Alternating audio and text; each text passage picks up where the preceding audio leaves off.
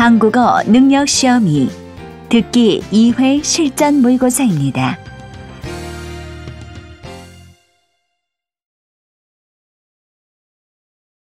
아래 1번부터 50번까지는 듣기 문제입니다.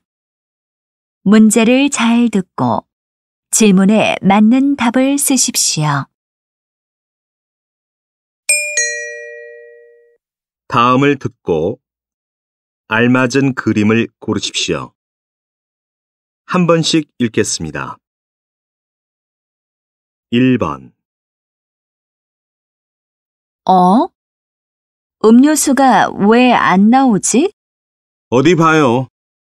어? 돈도 넣었는데 왜 버튼이 안 눌리지? 아무래도 고장이 난 것 같아요. 관리자에게 전화를 걸어야겠어요.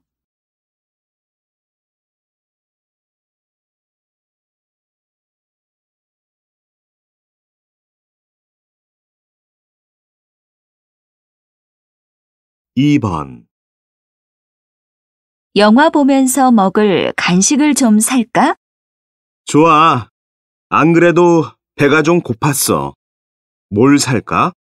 콜라랑 팝콘 어때?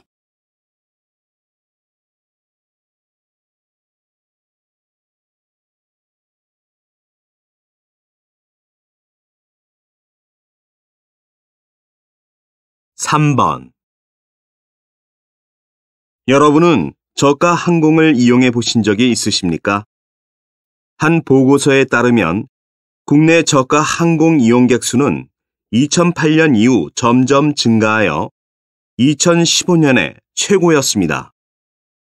저가 항공을 이용하여 가는 곳으로는 제주가 가장 많았고 김포와 부산이 차례로 그 뒤를 이었습니다.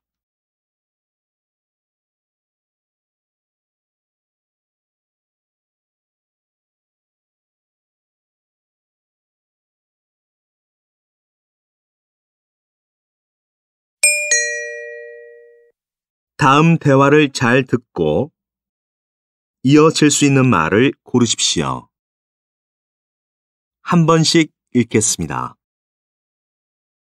4번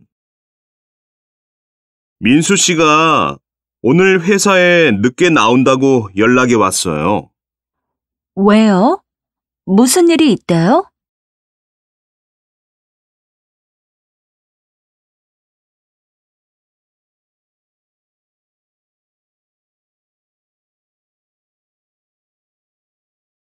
5번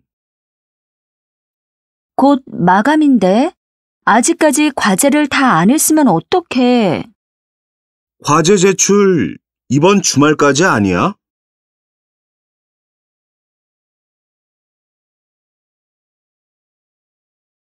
6번 또 커피를 마셔요? 커피를 너무 많이 마시면 몸에 안 좋아요. 밤에 잠을 잘 못 자서 커피를 줄이려고 하는데 생각만큼 쉽지 않아요.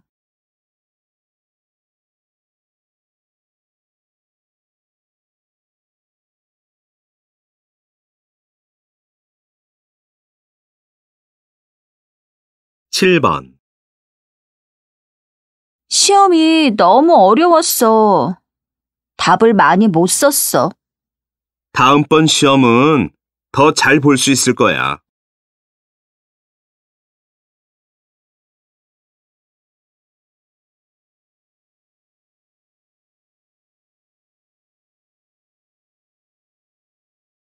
(8번) 집에 과일이 하나도 없어. 올 때 사과와 바나나 좀 사오겠니? 네. 사과하고 바나나만 사면 돼요?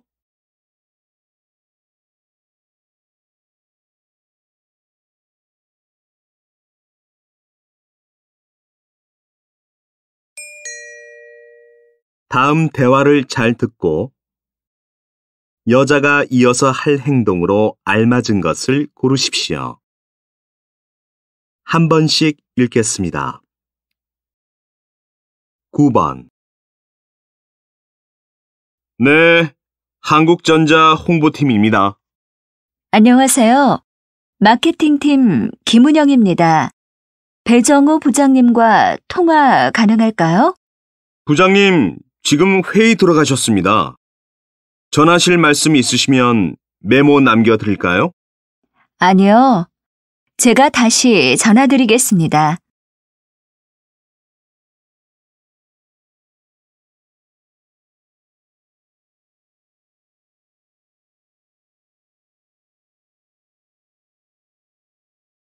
십번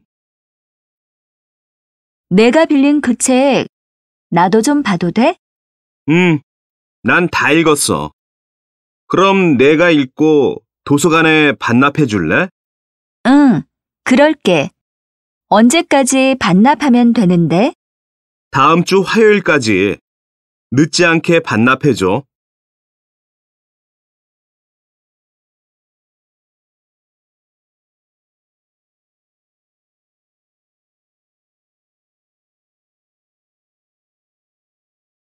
십일 번 와, 오늘 날씨가 정말 후텁지근한걸? 내일 비가 오려고 이렇게 더운 건가?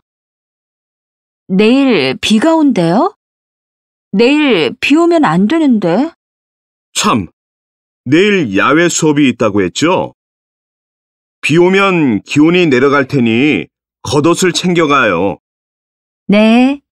혹시 모르니 그래야겠네요.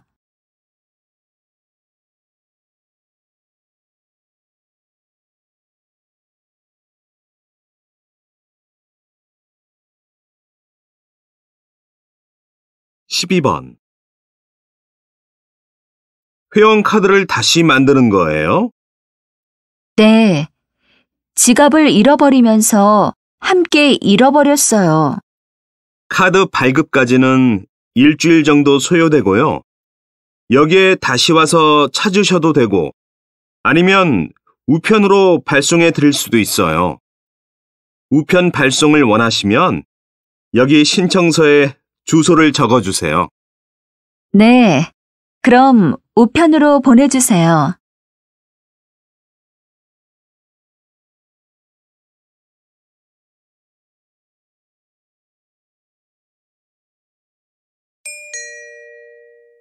다음을 듣고 내용과 일치하는 것을 고르십시오. 한 번씩 읽겠습니다. 13번 그 가수 콘서트에 꼭 가고 싶었는데 표값이 너무 비싸서 망설여져. 너 예전부터 콘서트 가겠다고 아르바이트 한 거 아니었어? 학생 할인 가격도 그렇게 비싸? 학생 할인이 돼? 그건 어떻게 할인 받을 수 있는 거야? 할인이 되면 콘서트에 당연히 가야지. 학생 할인 티켓으로 예약을 하고 표를 찾을 때 학생증을 보여주면 돼.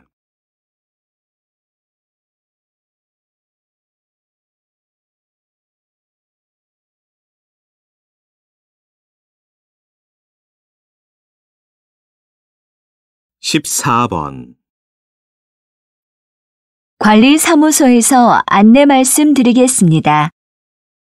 쾌적한 아파트 환경 조성을 위해 쓰레기는 정해진 날짜에 배출해 주시기 바랍니다. 우리 아파트 쓰레기 배출일은 매주 수요일, 일요일입니다.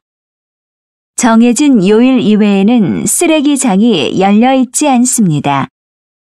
조금 불편하시더라도 살기 좋은 아파트를 위해 다 같이 협조 바랍니다. 감사합니다.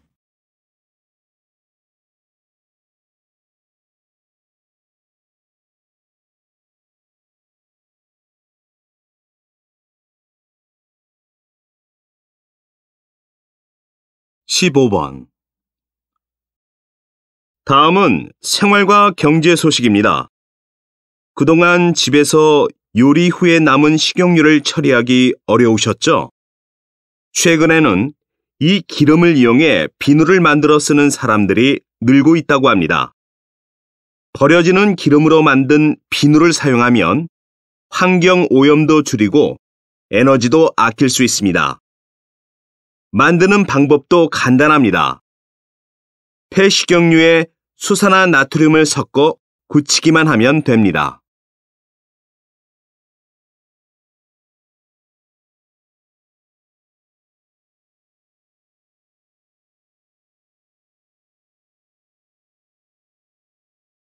(16번)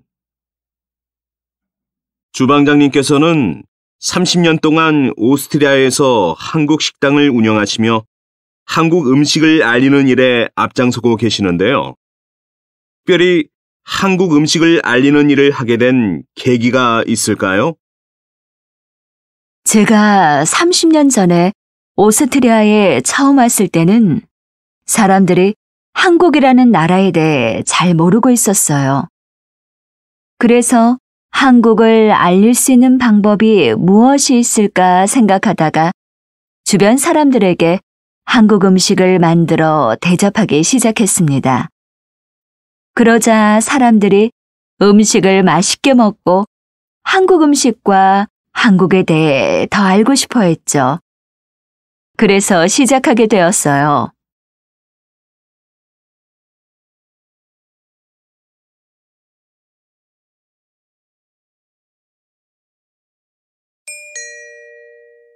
다음을 듣고 남자의 중심 생각을 고르십시오.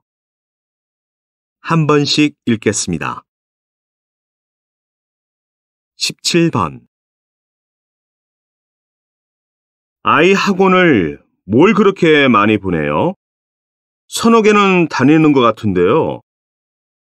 피아노 학원은 아이가 다니고 싶어 하고 나머지 학원은 학교 공부를 따라가려면 어쩔 수 없어요. 아이 스스로 공부하는 습관을 익히는 것이 중요해요. 처음에는 어렵겠지만 아이 스스로 공부할 수 있도록 도와주세요.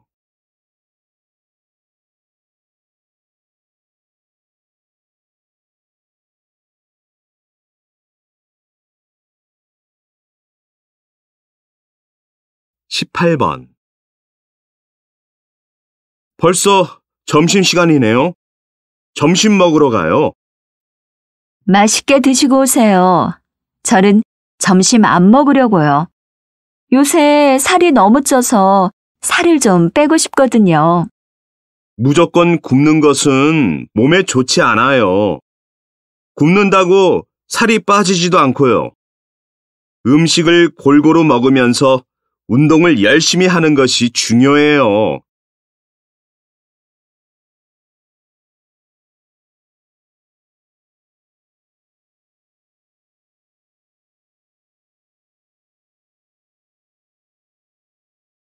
19번 요새 급하지도 않으면서 구급차를 불러 이용하는 사람들이 늘었대. 구급차를 이용할 때마다 돈을 받는 게 좋을 것 같아. 그게 무슨 소리야? 돈을 받으면 안 되지. 사람들이 급할 때 부담 없이 이용할 수 있게 해야지. 자기 마음대로 구급차를 이용하는 사람 때문에 정작 급한 사람이 이용 못하면 안 되잖아. 그렇다고 모든 사람들에게 돈을 받으면 안 되지.